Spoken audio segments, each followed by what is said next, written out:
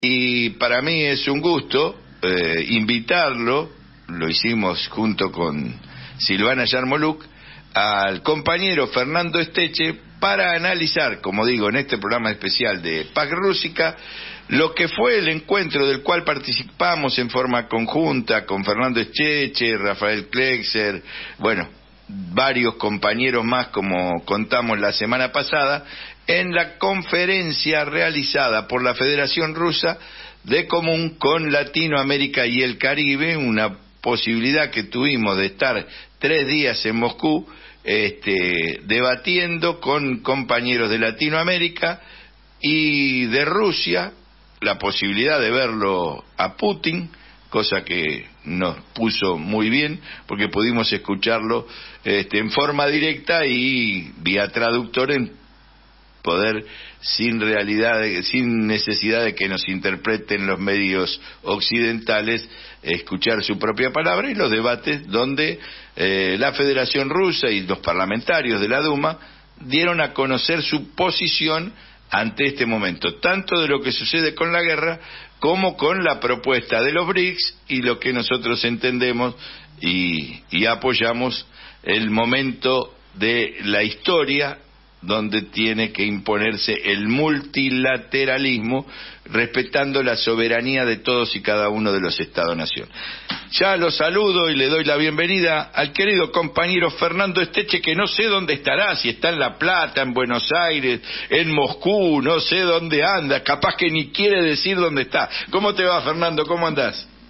¿Cómo estás, Néstor? Un gustazo hablar con ustedes, bueno, en este espacio que compartí con, con las compañeras este, este, y estoy, estoy, en Capital, estoy acá en bueno, la zona de Villa Santa Rita. Fernando, creo que tenemos muchos temas para, para analizar, pero bueno, contame cómo viviste, arranquemos por ahí y después lo vamos a ir relacionando con lo que pasa en Israel y Palestina y también con las elecciones de Argentina, pero no haciendo una lectura de las campañas, sino del contexto internacional entre los que se incluye la posición de la Federación Rusa y los BRICS y todo lo demás. Pero bueno, arranquemos entonces cómo, cómo leíste, cómo viviste ese eh, encuentro del cual participamos la primera semana de octubre primero, como, como vos lo planteabas hace un par de programas, este, fuimos protagonistas de un privilegio, ¿no? Fuimos unos privilegiados, este, no solo por tener a unos cuantos metros de distancia al presidente Putin, a todas luces, uno de los personajes centrales será del siglo XXI, este, sino desde, desde la convocatoria misma, desde cuando tenemos las primeras reuniones y, y con los compañeros de la embajada y con Silvana, la propia convocatoria ya daba cuenta de una estrategia política de Federación Rusa este, que tiene que ver con este, afianzar la, la tendencia por, para donde va el mundo, que es esto de la multipolaridad, y en este sentido es este, abrir un diálogo más fluido con América Latina replicando de alguna manera lo que lo que vino haciendo Rusia con África, ¿no? Que en África tuvo tiene este impacto y consecuencias bien nítidas, bien notables a favor de los pueblos y a favor de los gobiernos este eh, autónomos que reivindican su soberanía. Así que desde ahí yo te diría nos tocó ser protagonizar este, y ser parte de una delegación en un evento para mí que tiene una trascendencia histórica todavía no del todo bien calibrada, no del todo bien mensurada, este, pero creo que a todas luces tiene una trascendencia histórica porque es de alguna manera el primer paso de lo que seguramente será un derrotero. Bueno, de hecho, en el plenario del cierre del evento se planteaba un segundo encuentro ya, de lo que seguramente será un derrotero de... Eh, multidimensional del relacionamiento de Rusia con América Latina, donde tenemos más puntos en común y muchos intereses en común este, que con, algunos vecinos cercanos este, que lo único que vienen a proponernos es, es, saqueo y depredación. Así que desde ahí la primera reflexión que te podría aportar es eso. Sí, creo que es, es muy interesante y después lo vamos a llegar a las elecciones porque de alguna manera, y quiero que me ayudes a transmitir lo que fue el discurso de Putin, este, a quien yo también valoro en el mismo orden que vos decís, que es uno de los grandes líderes junto al Papa, junto a Xi Jinping y otros de este momento, que realmente tiran una línea para el debate, algo para discutir, un modelo de, de multilateralismo eh, que hay que concretarlo con decisiones que se van adoptando que van en esa línea como la realización y la concreción de los BRICS y la apertura de los BRICS que se ve, que se vio pudimos verlo en la en la conferencia.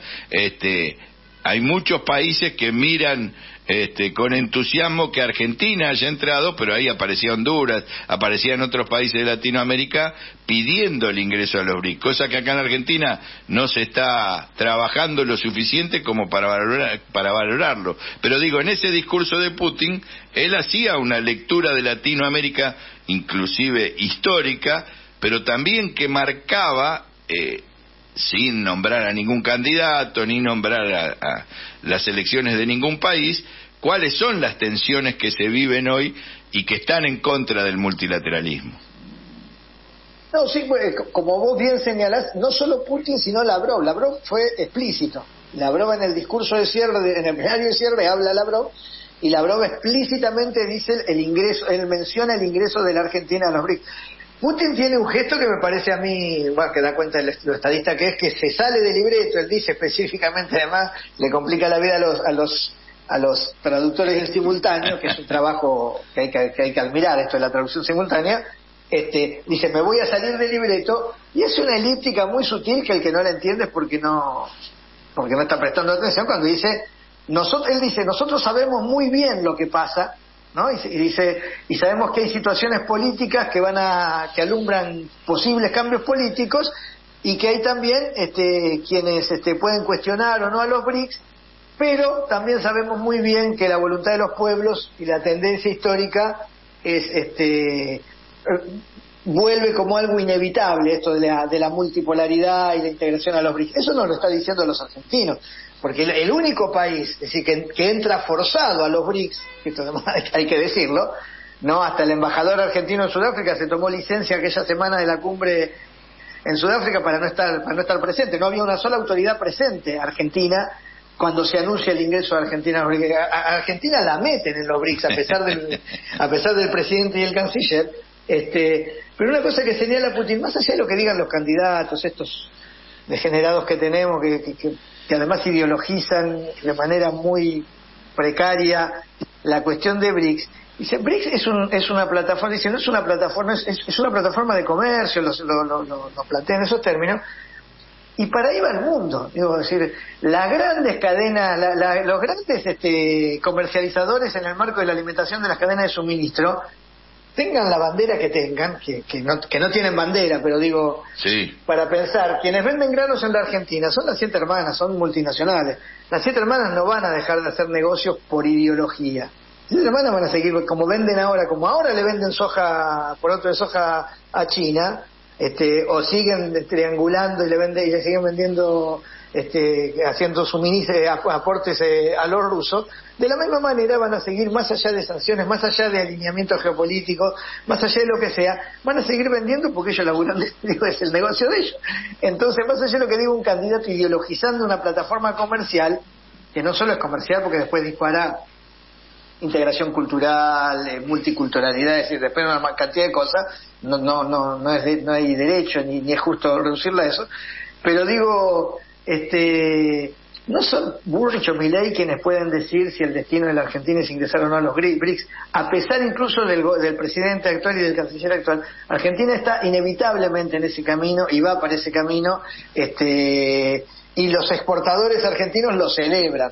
Por ahí no lo celebran los exponentes políticos. Los exportadores argentinos lo celebran porque significa la puerta abierta a, a un mercado formidable para la Argentina, este más allá de que eso después repercuta o no en las condiciones de vida de nuestro pueblo, pero digo, los exportadores este, que operan en la Argentina este, de ninguna manera van a cuestionar el ingreso de Argentina a BRICS y eso va a posibilitar en todo caso en la medida en que tengamos un gobierno con alguna mueca de autonomía, la posibilidad de empezar a, desahogarnos y a, resolver algunas situaciones internas que, que, tienen que ver además con los otros dispositivos que tiene, que tiene BRICS respecto de auxiliar a, a pueblos y estados que están este, en situaciones de ajustes de planes de ajuste estructural a, partir del endeudamiento endémico.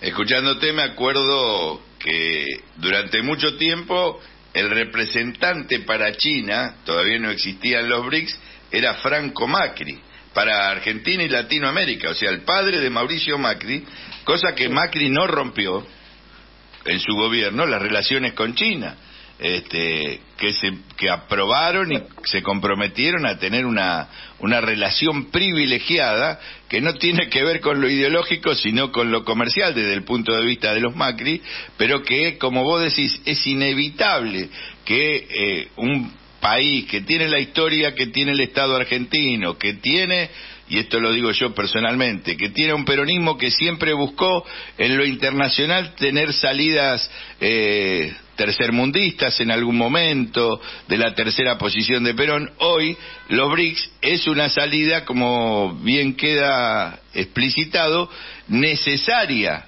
para el país, para la producción y bueno, después nos queda a nosotros la discusión de la distribución del ingreso y de la riqueza, pero eso es eso es así, es aparece como casi inevitable o natural, para decirlo mejor, con la historia del pueblo argentino y la historia de autonomía que tiene eh, el Estado argentino durante distintos momentos de la historia. Y ya trayéndote y de paso, este, ¿cómo ves vos el conflicto eh, entre, eh, a ver, Israel 75 años sometiendo al pueblo palestino. Esta reacción de Hamas de la semana, de esta semana, de los últimos días, y cómo puede, cuál es la perspectiva de ese conflicto, habida cuenta de que es una, eh, a ver, una complicación en la que se van a involucrar más que israelíes y palestinos. Sí, me parece, mira, eh, primero sería interesante, si tenemos tiempo, poder establecer algunas cuestiones que tienen que ver con la discusión de las narrativas dominantes. Hamas no es el grupo Hamas. Hamas es la autoridad palestina en Gaza.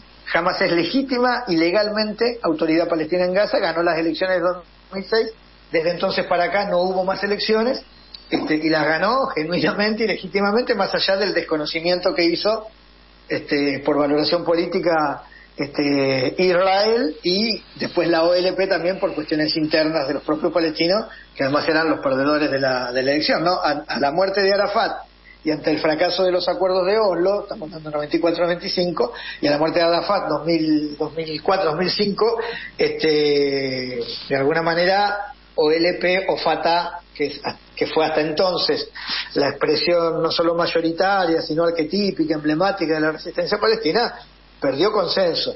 Entonces, primero establecer, Hamas no es un grupo político, ni siquiera tiene las características de, de Hezbollah, no, Hezbollah es una organización que es parte del gobierno de Líbano y tiene una milicia. Hamas no es un grupo político. Hamas gestiona la precaria estatalidad que hay en, Gaza. Precaria estatalidad porque es una estatalidad que se le niega desde Naciones Unidas, porque se le niega el reconocimiento y se le niega desde, desde el Estado de Israel a expensas de los acuerdos de Oslo. Entonces, estableciendo eso, este, los que los que incursionan en el en, en, en, lo que se reconoce como estado como territorio israelí este, son formaciones militares de defensa de Hamas de, defensa de Gaza. No son milicianos de Hamas. Son formaciones militares de defensa de Gaza es decir es la formación militar de defensa del pueblo palestino de Gaza. Para establecer en, en cuanto a la discusión de las narrativas y y dotar no solo de politicidad, sino de estatalidad la acción, la contraofensiva defensiva que se planteó este sábado. Ahora, ¿qué pasó el sábado? Que evidencia además años de preparación, ahí leía alguna nota que estaba hablando de 10 años de preparación por lo menos, este, planificación, eh, eh, evidencia capacidad militar, capacidad de ofensiva, evidencia incapacidad nuevamente de lo que míticamente se supone que es la mejor inteligencia del mundo y ya en Yom Kippur no pudo ver ejércitos ejércitos convencionales artillados este, rodeando, ya no, lo pudo ver en Yom Kippur en el 73, bueno, tampoco lo pudo ver ahora, tampoco pudo a pesar de que Egipto advirtió que era notable, que había operaciones de, preparación de alguna situación de este tipo, este, la mejor inteligencia del mundo no lo pudo ver. Este, entonces, ahora, ¿cuáles son las condiciones de oportunidad? ¿Por qué pasa esto ahora? Bueno, hace unos cuantos meses vienen este, los israelíes bombardeando Jenin, por ejemplo, que es un campo de refugiados. El argumento del bombardeo sobre población, sobre población civil en Jenin es preventivo. Dice, este, este campamento puede ser un nido de terroristas. No, ¿cómo no va a ser un nido de terroristas? Lo están, lo están este, bombardeando todos los días. No solo bombardea Jenin, supermilitariza Jerusalén. Al, Jerusalén, Belén, ¿no? Digo, ha, habido problemas con, cristianos, ¿no? Han, invadido la iglesia de la natalidad, digo, donde se supone que fue el pesebre donde nació Jesús, lo invadieron los soldados, lo pisotearon los soldados israelíes y expulsaron este, a, los, a los cuidadores este, históricos de las distintas iglesias cristianas este, que administran esa cuestión. Invadieron la mezquita, la mezquita de Al-Aqsa, ¿no? que es aquella mezquita emblemática, la cúpula dorada, este, más de 4.000 efectivos entre policías y, militares expulsando gente que se reúne a rezar en una mezquita. Este, y después van en los territorios de Cisjordania, que, que, se supone que gestiona la Autoridad Nacional Palestina, esto es Fatah, esto es LP, con Mahmoud Abbas, compañero de, de Arafat, ¿no? Un, octogenario todavía todavía con vida, un, prócer de, de, Palestina, y van, golpean la puerta de una casa, abre, cuando la señora abre la puerta la sacan de los pelos y le roban la casa. Esto es lo que está pasando. Hay miles de imágenes que dan cuenta de esto. Han asesinado, hay un muchacho de 18 años este, que asesinó a una señora, le robó la casa, lo llevaron a juicio y lo absolvieron. Y el pibe salía sonriendo. Mató a una mujer para robarle la casa. Y cuando lo absolvieron volvió y ocupó la casa que había robado de la, de la víctima de él. Esto es lo que pasa en Israel. De los acuerdos de, digo, porque nos tenemos que ir más para atrás, digo, acuerdos de Oslo. Arafat, Arafat va y se, se reúne con Rabin, hacen un acuerdo donde Arafat no solo reconoce la existencia de Israel, sino que conceden y dicen, bueno, nos quedamos en este territorio, que era el pedacito de Gaza y el pedacito de Cisjordania. Cuando vuelve el rabín a, Israel, lo mata a la ultraderecha, lo asesina a la ultraderecha, lo asesina literalmente, no metafóricamente, la ultraderecha israelí. Y a los meses gana las elecciones la ultraderecha israelí. Lo que quiere decir es, el pueblo de Israel no estuvo de acuerdo con esa pacificación. ¿No? Que todos celebramos por la que ganaron el premio Nobel de la Paz. No estuvo de acuerdo. Votó a la ultraderecha. Desde entonces, desde entonces, Cisjordania, lejos de haber sido respetado los acuerdos, fue invadida crecientemente por este, Israel con checkpoint, este, los muros en gas, en distintas situaciones. Eh, esta es la realidad. Esta, ante esta reacción y ante una operación de genocidio, de exterminio, que además la evidencia muy bien el, el canciller israelí, el canciller, el ministro de Defensa israelí, dice ayer, antes de ayer en una conferencia de prensa, dice, nos enfrentamos con animales. Fíjate lo que, fíjate. Sí, sí, sí. Eso, Es, eso es, un, es confeso lesa humanidad. Eso es confeso lesa humanidad y genocidio. Está determinando a un grupo, a un grupo humano, lo está, este, eh, le está dotando, le está quitando humanidad, lo está animalizando. Eso es, eso es genocidio. Además de genocidio, es lesa humanidad. Entonces, con, con animales los vamos a arrasar les corte la, además de que los bombardean, les corte el agua potable, suministro de energía, suministro de alimentos. Bueno, este, la única posibilidad que tiene el Estado, eh, el pueblo palestino, es reaccionar y defenderse. La única posibilidad de subsistencia. Lo otro es el exterminio silente, es este régimen de apartheid silenciado por todas las cadenas de, información dominantes que manejan ellos este, y, y, los gobiernos distraídos. Si no sucedía una situación así, esto terminaba en el exterminio, digo, el, pueblo palestino había sido un recuerdo. Ahora, ¿qué sucede ahora? En la región hay dos, dos estrategias visibles. Vos planteabas una, decía, en la región hay una estrategia de, pacificación de la región, eso es Arabia Saudita, histórica enemiga de Irán, se juntan, eh, eh, normalizan relaciones con Irán.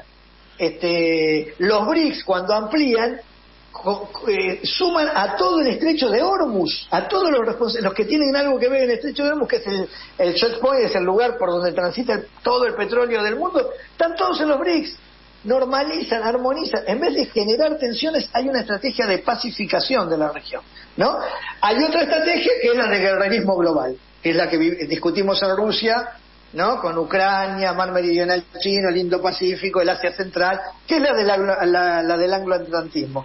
Ahora, si los palestinos, en un criterio para mí muy ajustado de oportunidad, no hacían esta, esta operación, terminaban exterminados. ¿Y qué hacen con esta operación? Facilitan la normalización, alimentan la estrategia de pacificación.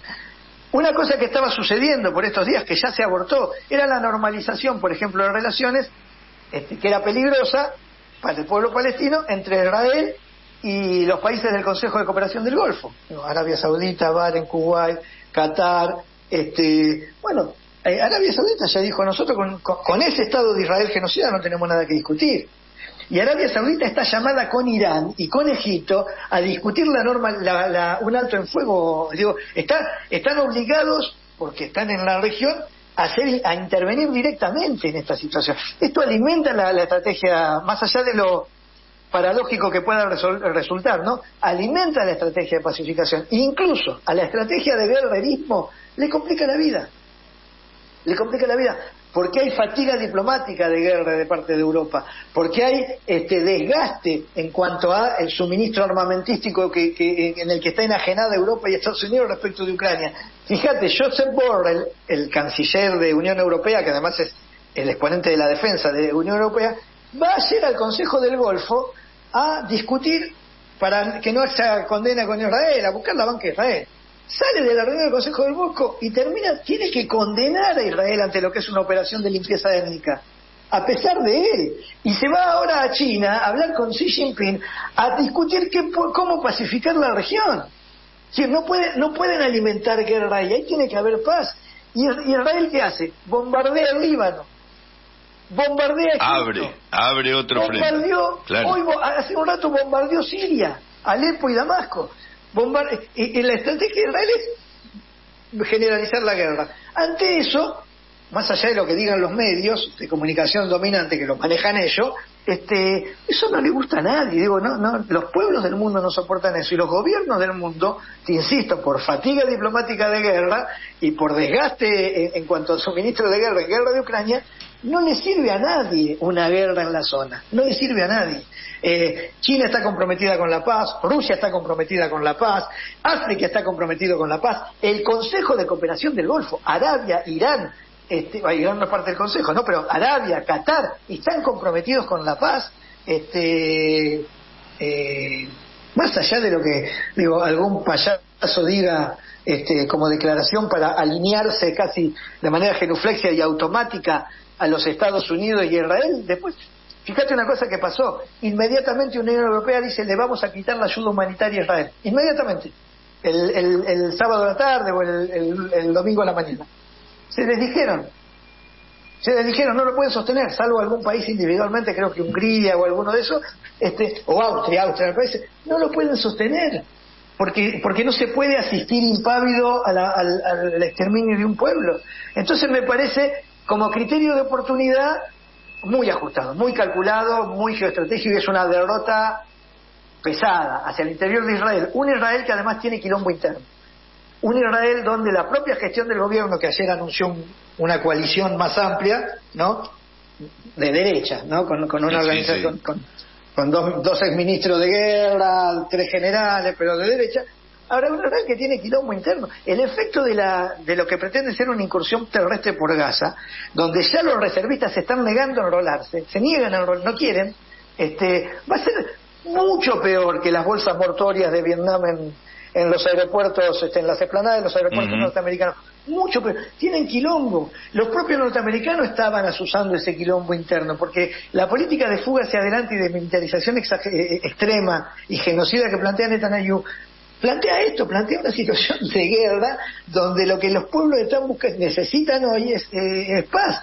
Este, entonces me parece que, ojo al piojo, que eso también, este, más allá de lo que es la reacción inicial, por, por imágenes, porque uno se siente agredido, agredido por el temor, por lo que fuera, de unidad ante el, ante el enemigo externo, los israelíes probablemente hoy tengan esta sensación ante el monstruo que imaginan que es y a algunos les cuesta identificar las razones de, digo, más tarde o más temprano esto termina explotando, ¿eh? más tarde o más temprano esto hace crisis en el propio gobierno israelí. Entonces me parece que ahí se le ha aceptado no solamente una gran, una gran derrota en términos militares de lo que es la penetración sobre su territorio, haber capturado a los jefes cinco jefes de inteligencia, al jefe de la operación y el, y el, exterminio en Gaza, tienen ahí una cantidad de prisioneros de guerra importante, este, pero además, eso, eso es en el punto de vista, desde el punto de vista de la cuantificación militar de, la operación. A la cuantificación política es muy superior. Como contexto de esto, como contexto de esto, el drama humano asistimos a imágenes que a veces uno se, obliga a no ver trágicas de todos lados. siempre la muerte, siempre la guerra. Este, esto de ninguna manera equipara un lado con el otro, porque como decía Walsh, en la más irracional de las acciones del oprimido está la legitimidad de reaccionar a la opresión. Y en la más racional de las acciones del opresor está el pecado original de la opresión. Entonces, nosotros no es que igualamos, ahora, claro que nos duele la muerte de cualquier ciudadano civil en cualquier circunstancia, pero no olvidemos, no olvidemos que el aparato de producción civil que justifica, legitima un gobierno genocida no es que es inocente, también tiene responsabilidad en, la producción política de lo que es Estado, en la medida en que no combate contra ese Estado y lo, y lo, y lo alimenta, eh, que esto no justifica de ninguna manera, estoy diciendo, una, acción militar, punitiva, ni mucho menos, pero este, como contexto, digo, está el drama humano de la guerra, y el dolor y las muertes y, todo, y los heridos y todo eso. Pero me interesa a mí tratar de sacar, salirme de ahí, tomar distancia y verlo en términos de qué pasa en el mundo. Después, este, que el mundo es un lugar maravilloso, como decía Víctor Frankl, ¿te acordás? El, mm. Un emblemático eh, de, prisionero de guerra de los nazis, ¿no? Como, como, como Lev y otro. Frankl es un tipo que cuenta él en el diario, dice que se asoma, iban en, un, en una barraca, estaban laburando en el campo de exterminio y, y, se, se, cuelga mirando el cielo y dice, qué cosa bella que es el mundo. en una barraca de un campo. En una barraca. Subalimentado. Ah, este, los hombres lo hacen lo hacen desastroso, ¿no? los hombres hacen que esta cosa que tenemos como, como nave espacial este, termine siendo lo que es, si uno se pone a pensar, la población del Donbass y la limpieza étnica, la limpieza étnica en Palestina, gente que piensa en una otredad que tiene que exterminar por el solo hecho de ser eh, otredad. Eso es una cosa muy perversa. Y me parece que nos tenemos que obligar a volver a la humanidad, a, lo civilizado, entre comillas, si, existe el concepto de civilización, eh, no, no, no, no se pueden aceptar. Hay algunas cosas que no se pueden. A mí me tiene absolutamente consternado lo de la guerra este, y lo de esta situación. Y desde el punto de vista del análisis geopolítico, sí puedo tomar distancia y decir, bueno, tengo la expectativa, tengo la esperanza de la victoria. No hablo en términos militares, hablo en términos de ese pueblo está de alguna manera hoy más abrazado, ha visibilizado una situación, este, esto va a tardar más o menos en días o semanas. Ellos quieren, digo, bombardearon Siria, hoy bombardearon Líbano, quieren, Este, quieren generalizar la guerra, pero van a ser obligados a un alto, un alto el fuego. Y si no son obligados a un alto el fuego, entonces estamos frente a la generalización de la guerra y ya estamos entonces hablando de otra cosa, este, no de lo que hablaba Francisco de la Tercera Guerra Mundial, porque esa era fragmentada, sino que estamos hablando este, ya de una humanidad que no solo no es posible, no solo no es posible en términos de los términos de producción y consumo, que hacen que el planeta se esté, tenga la crisis climática que tiene, sino que no es posible por la animalidad propia de la bestialidad del, del, hombre como lobo del hombre ya en términos materiales, no solamente en términos de, de términos de producción. Fernando Esteche, te agradezco mucho, no te quise interrumpir, además por respeto al razonamiento que, que incluye una visión geopolítica grande, respetuosa de la humanidad, de un hombre que conoce estar del otro lado de esa reja, como contabas, este, mirando y reconociendo que el mundo es hermoso, que es vivible y que apostamos a eso. Fernando, gracias por, por tu reflexión este, viene bien porque hay demasiada confusión incentivada por los medios de comunicación hegemónicos y también de los que no son hegemónicos y que no se atreven a abrir los espacios a debates como el que vos planteás. Fernando, gracias por tu paso, por habernos encontrado allá en Moscú, abriendo debates, nada está cerrado, este, sí las apuestas al multilateralismo, a la paz y también a la defensa de los pueblos que son sojuzgados. Te mando un abrazo grande y nos estamos viendo. Dos cositas, Néstor, quiero decir, este, te felicito por la nota con, con el, vicepresidente de, la Duma, me parece un hallazgo periodístico de la, de la hostia, para no decir de la puta madre, es decir, este, te felicito por esa nota y te agradezco siempre este, por tu solidaridad en los momentos más oscuros que nos tocó atravesar a alguno de nosotros, pues siempre estuviste ahí al pie del cañón. Así que para mí siempre es un gusto conversar con vos. Gracias. Fernando Esteche, haciéndonos emocionar también en días complejos. Un abrazo grande. Nos vamos a la tanda.